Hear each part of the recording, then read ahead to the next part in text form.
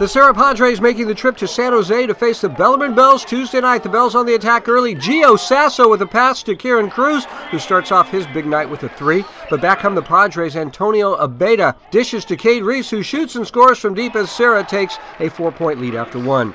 Bellarmine answering back in the second. Cole Troedson over to Kruse, who drives to the hoop for the lay in. The Bells keep the attack going. Quinn Denker with a bounce pass to Constantijn Cole, who gets the hook shot to go and the foul as the Bells pull ahead 31 28 at the half. Serra trying to jumpstart their offense in the third. Patrick Simon ahead to Parker McDonald, who lays it in and draws the foul for the and one.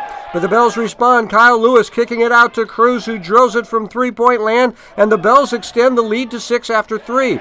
Serra would fight back in the fourth. Ryan Wilson passes to Abeyta, and I bet he's going to make that splash from deep as both teams are knotted up at 60 after regulation.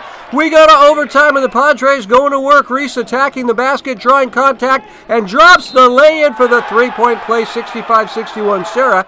Bellarmine looking to force another overtime late. Denker to Kruse at the elbow, and Kruse hits from way downtown. We're tied at 65 all. Serra trying to end it with 4.9 to play. Rees drives to the basket and gets the layup to go. The buzzer sounds, and the Padres win it in overtime 67 65 to keep their league title hopes alive.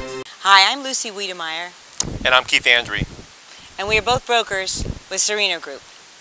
Many of you will remember legendary football coach Charlie Wedemeyer, my husband, who was a champion of high school sports.